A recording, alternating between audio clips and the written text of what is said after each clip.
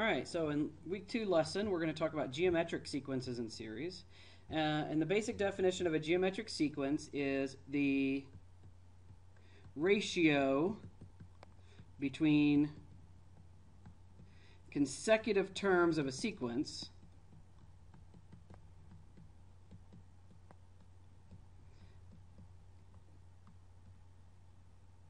So the ratio of consecutive terms of a sequence is constant.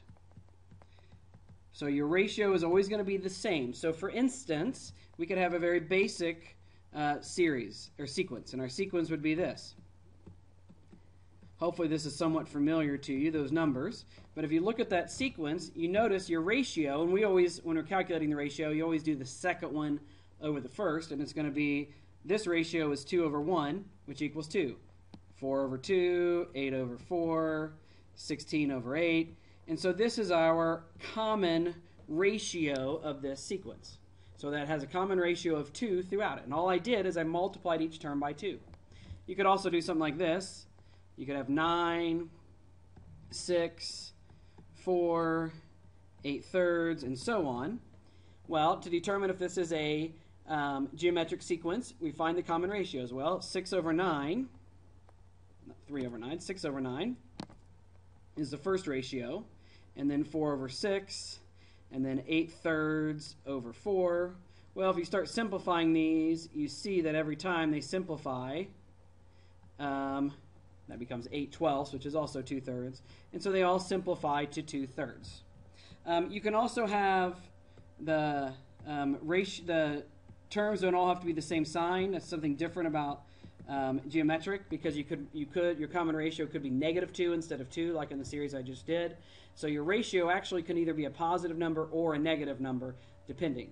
If you notice these still start going are going up. The way that you make a geometric series go down is by multiplying by something less than 1.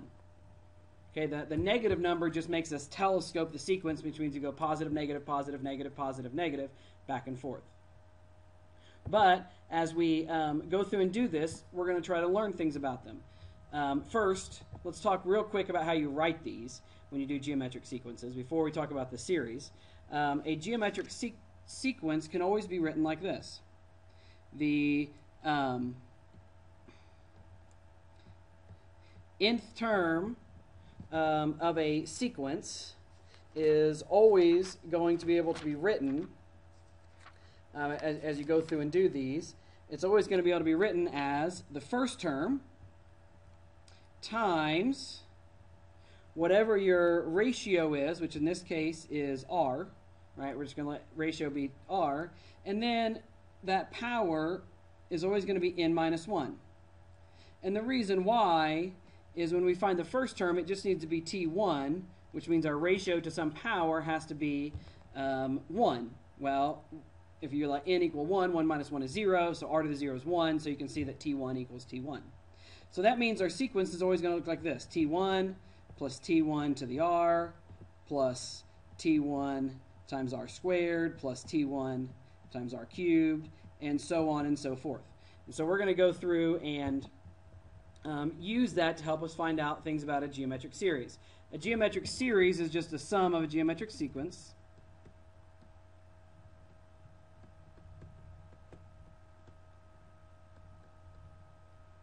So for instance, if I wanted to find the sum of a geometric sequence, it would look something like this. It would just be pluses instead of just writing out the sequence. Now here's what's interesting. Normally when we're doing these, with arithmetic sequences, we have to have an end. It has to be a finite series. Okay, so a finite series is a series with a specific number of terms. That's how we, when we found the sum of arithmetic series, we knew there had to be a certain number of terms. So we can do the same thing with geometric. However, we don't have to, and we'll talk about that in a second. So the ser series with a specific number of terms is our finite series. Well, let's say we just want to find what is the sum of this series right here. Well, here's, what, here's how you figure it out. Write that series out like I did. And then we perform a little trick. that's going to allow us to do something nice. And that trick is to multiply um, that um, uh, multiply our series by r. Well, if you notice, when I multiply t1 by r, I just get t1r.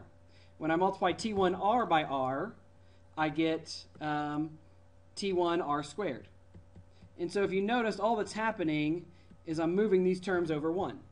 And so by, at the end, I'll get a t1 um, r to the n minus 1, but then out here I'll have a t1 r to the n when I multiply this last one by n. Well, the reason we do that is that we want to subtract the two sequences.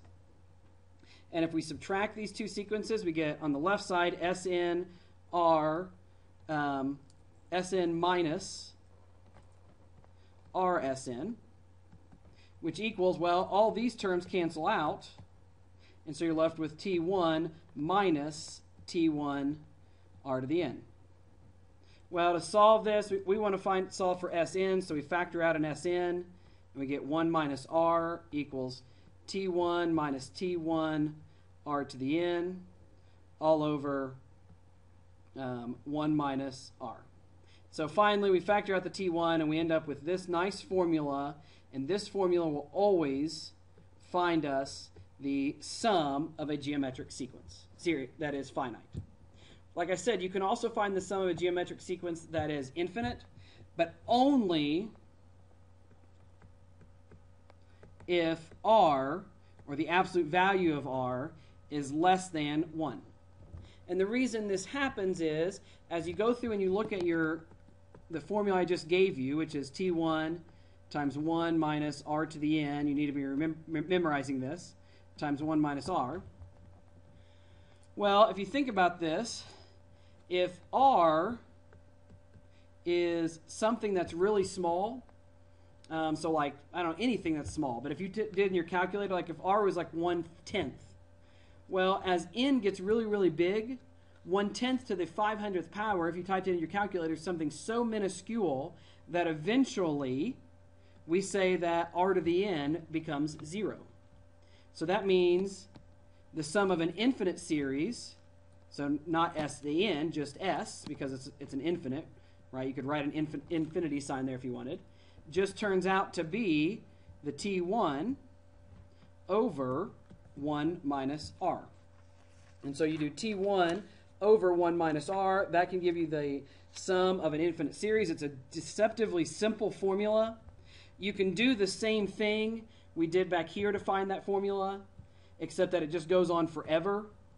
And so they, they cancel each other. Every term gets canceled out, and so you're just left with these terms, and you can simplify them in the same way. But whatever the case is, we have two nice formulas that we can use. This is for a finite series, when we know what n is. If it's an infinite series, then we can just ignore this term, and we get this formula. So those two formulas you need to have memorized, and in the next video I'll show you how to use those in solving some problems.